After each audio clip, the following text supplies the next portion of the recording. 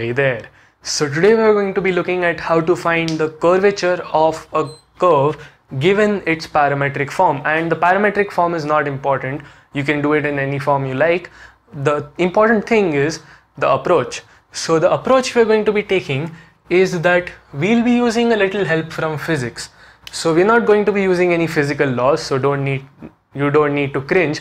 We're just going to use some logics that you would more naturally come up with while solving a physics problem rather uh, rather than solving a maths problem. And in fact that's how I came up with this uh, solving a physics problem but then I realized that this can be generalized to any mathematical curve. It doesn't have to be only in physics.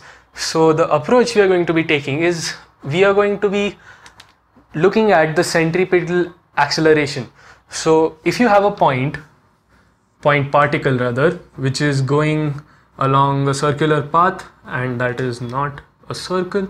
So yeah that's a bit better. So let's say you have a point particle p which is going along a circular path. So we know from pretty simple mechanics that if it's going at a velocity v and we can find and let's say it has an acceleration a which is like that.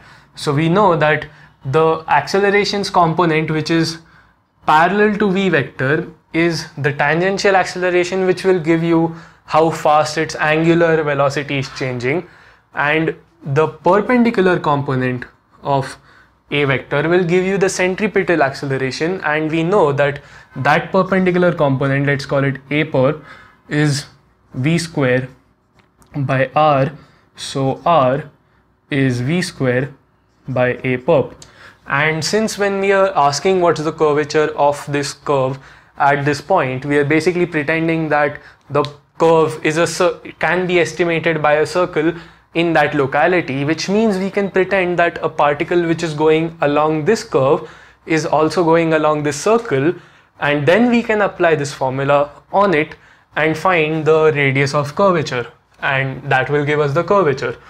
So how do we do that? Well, it's pretty simple now that we've written out the formula. We know that S vector is x of t, y of t.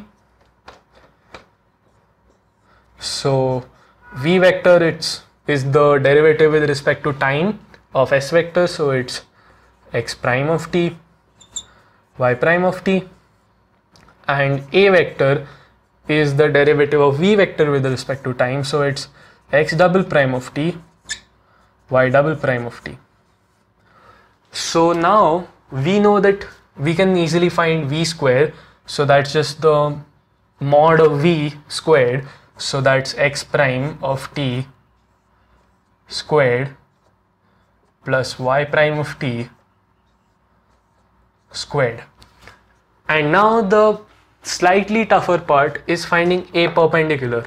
So there are two ways to find a perpendicular. One is that you find v vector and then you find a vector which is perpendicular to v vector by using some simple analysis of what the slope of a line along v vector is. So what's the slope of a line perpendicular to v vector and then you can take the dot product of acceleration with that vector but that's slightly lengthy. The easier way is just take a cross product. So you have a vector which let's say looks something like this and v vector which looks something like that and since we are in 2D the cross product is always going to be like this and the magnitude of the cross product is what will tell us the product of a perp into v and basically that's the cross product right?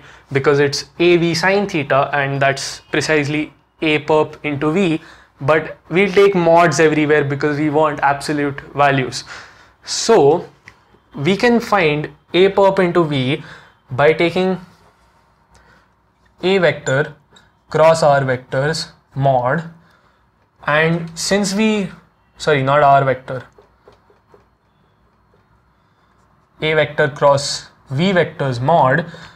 And since we don't want this v hanging around we can just divide both sides by v.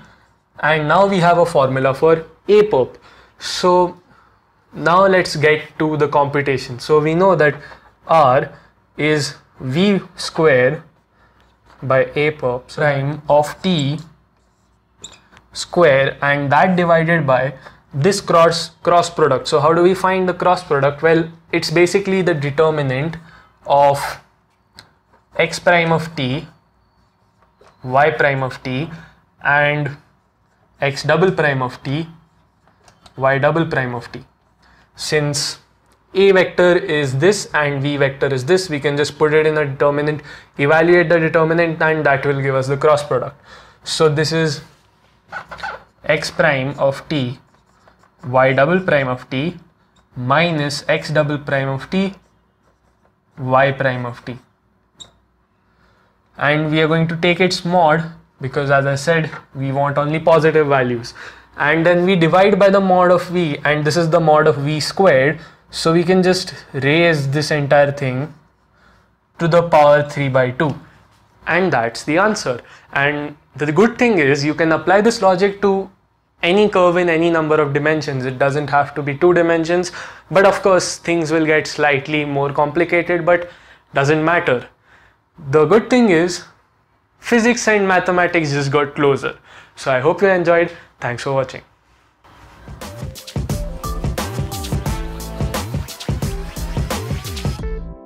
Turn up. Let's, let's go.